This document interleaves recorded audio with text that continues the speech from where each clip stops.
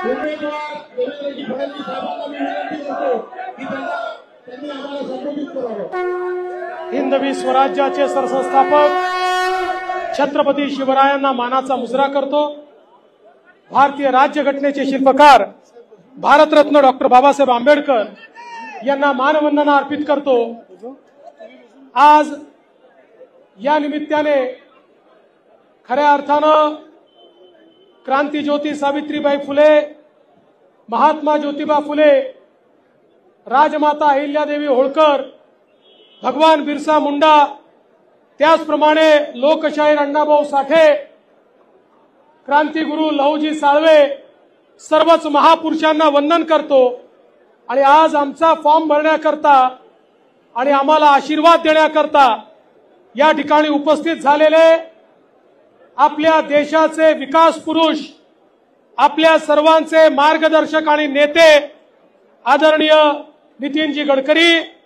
त्याचप्रमाणे भाजपचे प्रदेशाध्यक्ष चंद्रशेखर बावनकुळेजी या ठिकाणी विशेष रूपाने उपस्थित कैलासजी विजयवर्गीयजी मंचावर उपस्थित सुलेखाताई कुंभारे जोगेंद्रजी कवाडे माझ्यासोबत जे फॉर्म भरणार आहेत पूर्व नागपूरचे कार्यसम्राट आमदार कृष्णाभाऊ खोपडे आणि दक्षिण नागपूरचे लोकप्रिय आमदार मोहनभाऊ मते या ठिकाणी मंचावर उपस्थित कृपालजी तुमाने परिणयजी फुके सुधाकरराव कोळे सुधाकरराव देशमुख कृपाशंकर सिंगजी अनिल सोलेजी संजय भेंडेजी आशिष जयस्वालजी विकास महात्वेजी मायाते युनातेजी धर्मपाल मेश्रामजी प्रशांत पवारजी प्रवीण दटकेजी मिलिंद महानेजी विकास कुंभारेजी टेकचंद सावरकरजी गिरीजी व्यास अर्चनाटे डेहनकर कोणाचे नाव राहिले असतील तर त्यांची क्षमा मागतो. लिहिणाऱ्याचा दोष आहे माझा दोष नाही आहे.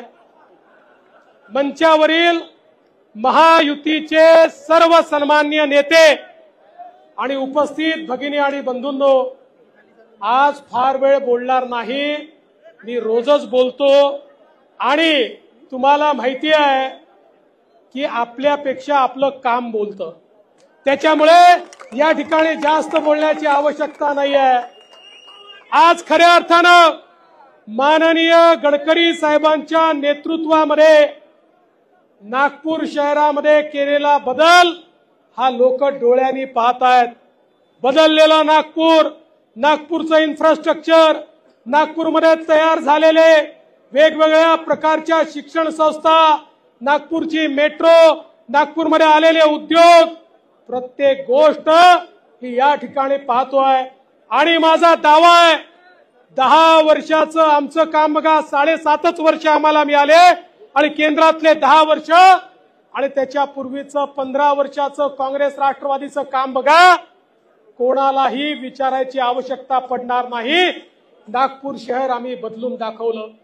तुमच्या आशीर्वादानं मुख्यमंत्री होता आलं उपमुख्यमंत्री होता आलं या विदर्भामध्ये मोठं परिवर्तन आपण करून दाखवलं.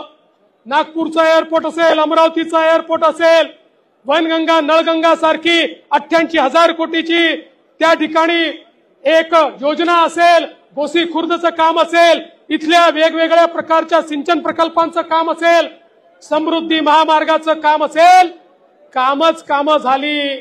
आणि त्यामुळे विदर्भाचा चित्र देखील माननीय गडकरी साहेबांच्या नेतृत्वात आम्ही बदलतोय. आणि या ठिकाणी एक गोष्ट सांगितली पाहिजे. देशाचे नेते आणि प्रधानमंत्री माननीय मोदीजींनी नवभारताची निर्मिती सुरू केली आणि त्यांच्याच पावलावर पाऊल टाकून त्यांच्याच आशीर्वादानं आम्ही नव महाराष्ट्राची निर्मिती सुरू केली आहे. आणि हा नवीन महाराष्ट्र युवकांच्या आशा आकांक्षा पूर्ण करणारा अशा प्रकारचा आपला महाराष्ट्र आहे. मी विरोधकांबद्दल बोलणार नाही. विरोधकांना तर आमच्या लाडक्या बहिणीच पुरेशा आहे. ज्या लाडक्या बहिणींच्या तोंडचा घास पळवण्याकरता काँग्रेसच्या नेत्यांनी सुनील केदार नाना पटोलेंनी नागपूरच्या न्यायालयामध्ये केस केली. त्या लाडक्या बहिणीच त्यांना पुरून उरतील. पण एवढंच सांगतो आज शेतकऱ्याला मोफत वीज असेल आमच्या मुलींना त्या ठिकाणी मोफत शिक्षण असेल वेगवेगळ्या समाज आज आपण बघा दीन दलित गोर गरीब आदिवासी ओबीसी प्रत्येक समाजाकरता आपण केलेलं काम असेल.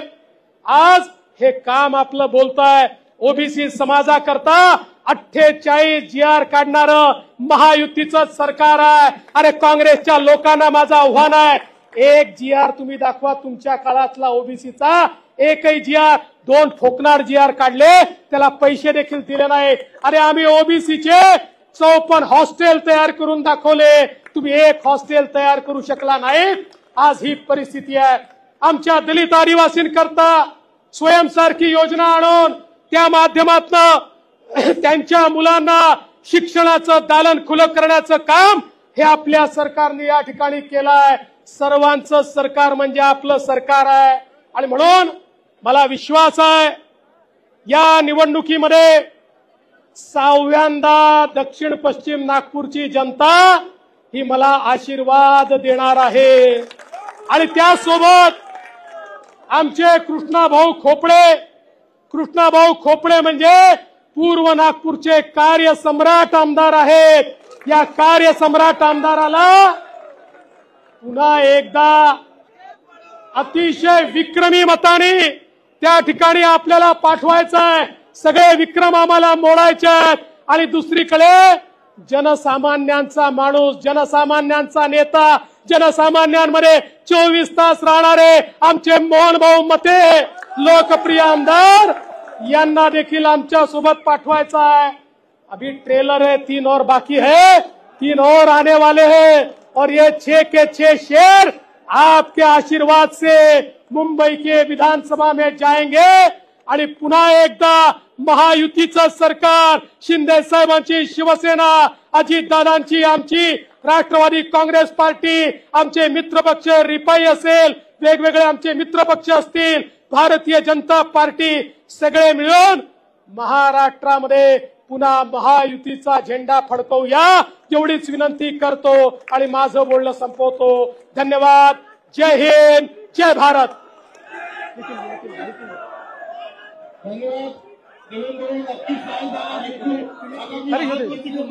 हे झालं विनंती करतो की त्यांनी आम्हाला संबोधित करावं आपले महाराष्ट्राचे अध्यक्ष आदरणीय चंद्रशेखर बावनकुळे यांच्या नेतृत्वाखाली आपण महाराष्ट्रात निवडणुका लढवतो आहे असे नागपूरचे आपले भूमिपुत्र आदरणीय उपमुख्यमंत्री देवेंद्रजी फडणवीस देवेंद्रजींनी ज्या सर्व नेत्यांची नावं घेतली ती सर्व सन्माननीय नेते मंडळी बांधवांना आणि बहिणी आज नागपूरमध्ये दक्षिण पश्चिम मधून देवेंद्रजी दक्षिण मधून मोहनजी आणि पूर्व मधून आपल्या सगळ्यांचे आवडते कार्यसम्राट आमदार कृष्णाभाऊ. आपला अर्ज भरत आहे. आपल्या सगळ्यांना माहिती आहे की देवेंद्रजींनी महाराष्ट्रामध्ये नागपूरच्या विकासाकरता किती प्राधान्य दिलं? मला सांगताना आनंद होतोय की आपल्याला पंच्याहत्तर वर्ष झाले स्वातंत्र्य मिळून काँग्रेसला साठ पासष्ट वर्ष राज्य करण्याची संधी मिळाली. पण जे काँग्रेसमध्ये साठ वर्षात करू शकली नाही ते महाराष्ट्रामध्ये आणि नागपूरमध्ये देवेंद्रजी आणि मोदीजीच्या नेतृत्वाखाली आपल्या सरकारने करून टाकलं. आपल्या सगळ्यांच्या आशीर्वादाने मी नागपूरचा खासदार म्हणून निवडून आलो. आणि मला सांगताना आनंद होत आहे. या दहा वर्षामध्ये नागपूर शहरामध्ये एक लाख कोटी रुपयापेक्षा जास्त कामं झाली. यावेळी मी नागपूरच्या गल्ल्या गल्ल्यात फिरलो. मोहनजीने कृष्णाभाऊनी देवेंद्रजींनी अनधिकृत लेआउट झोपडपट्ट्यामध्ये कॉन्क्रीटचे रोड बांधले. चोवीस तास पाणी सत्तर पंच्याहत्तर टक्के नागपूरकरांना मिळतात हा सगळा विकास माझ्यामुळे देवेंद्रजीमुळे बावनकुळेमुळे मोहनजींमुळे किंवा कृष्णाभाऊमुळे नाही झाला.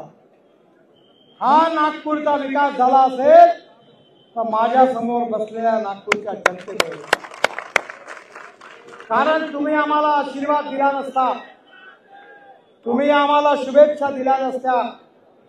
तुम्ही आमच्या हातात ताकद दिली नसती तर हे चित्र आम्ही बदलवू शकलो नसतो. आणि म्हणून आतापर्यंत तुम्ही जे पाहिलं होतं वो तो केवळ निंद्री थी असली फिल्म सुरू होणार आता तुमचा आशीर्वाद मिळाला. पुन्हा एकदा डबल स्पीडने नागपूरला देशातलं सगळ्यात सुंदर स्वच्छ प्रदूषण मुक्त शहर केल्याशिवाय आम्ही सुरू झालं देवेंद्रजींनी इंटरनॅशनल एअरपोर्टचा शुभारंभ करून दिला। आणि बिहारमध्ये आतापर्यंत माझ्याकडे यादी विनंती आहे की हज़ार नागपूरच्या आणि विदर्भाच्या रोज़गार मिळाला. बाकीच्या नेत्यांना आपल्या मुलाबाळांना तिकीट देण्याची चिंता आहे आम्हाला नागपूरच्या गरीब युवकाला रोजगार मिळाला पाहिजे याची आहे. म्हणून तुम्हाला विश्वास देतो की पुन्हा एकदा देवेंद्रजींच्या नेतृत्वाखाली एक क्षमतावान